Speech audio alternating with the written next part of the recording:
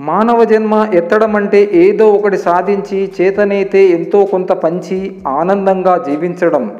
కానీ ఇతరులు కష్టపడి సంపాదించింది దోచుకుని దాచుకుని తింటూ అవమానాలతో బ్రతకడం కాదు. మన పుట్టుకకు కారణం ఎవరంటే తల్లి తండ్రి దైవం అంటారు. మరి మన చావుకు కారణం ఎవరు అనేది వెంటనే చెప్పగలమా చెప్పలేము. ఈ ప్రపంచములో భయపడవలసింది చావుకు మాత్రమే కాదు. అది ఎవరికైనా తప్పని శిక్ష కాబట్టి కానీ ఎలా బ్రతకాలో అని మాత్రం ఆలోచన చెయ్యాలి భయపడాలి. ఆకలి విలువ కాలే కడుపుకి ప్రేమ విలువ గాయపడ్డ మనసుకు కన్నీటి విలువ నిజాయితీకి మనిషి విలువ కష్టాల్లో ఉన్నవాడికే తెలుస్తుంది. లైఫ్లో వదిలి వెళ్ళిన వాళ్ళ గురించి ఆలోచించకు. జీవితంలో ఉన్న వాళ్ళ శాశ్వతం అని భావించకు. ఎవరు వచ్చి నీ బాధను అర్థం చేసుకుంటారని ఊహించకు. నీకు నువ్వే ధైర్యం కావాలి నీకు నువ్వే తోడుగా నిలబడాలి. జీవితంలో కష్టం కూడా మార్పు తీసుకువస్తుంది. నీ కష్టమే నిన్ను బలంగా నిలబెడుతుంది.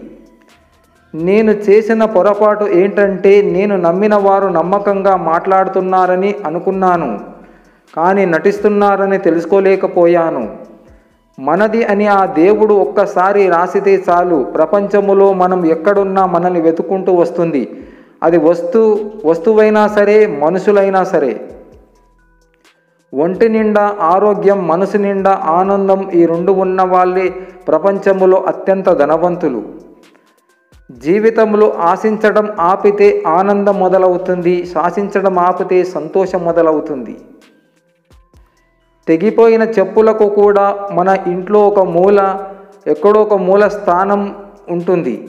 కానీ శవానికి మన ఇంట్లో కొన్ని గంటలకు మించి స్థానం ఉండదు. శరీరంపై వ్యామోహం వద్దు మిత్రమా? మనం చనిపోయిన మన మంచితనాన్ని తలుచుకునేలా మంచిగా బ్రతుకుదాం. కావాల కావాలనుకున్నది అడగకుండానే కానుకగా దొరికితే కష్టం విలువ ఎలా తెలుస్తుంది?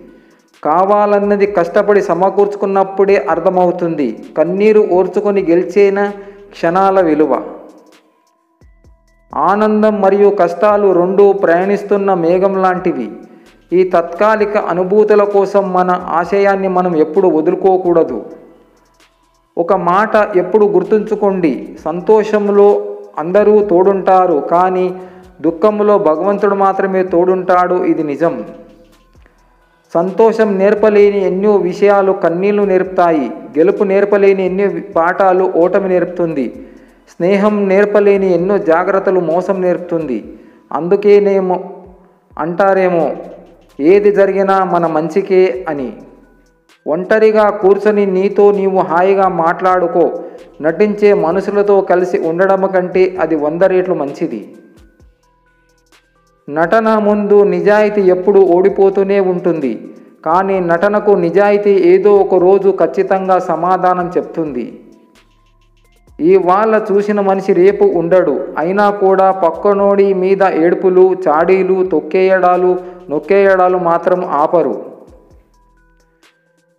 ఇల్లు అనేది ఆకలి తీర్చే భోజనశాల కాదు సుఖాలనిచ్చే వసతి కాదు. అది ధర్మాన్ని నేర్పించే పాఠశాల. సంసార యజ్ఞాన్ని చేయించే పర్ణశాల హంతశక్తినిచ్చే ధ్యాన మందిరం తానెవరో తెలిపే జ్ఞాన మందిరం నిన్ను రక్షించే అమ్మబొడి మోక్షాన్నిచ్చే గర్భగుడి అందుకే గృహస్థుడే మహర్షి అంటారు.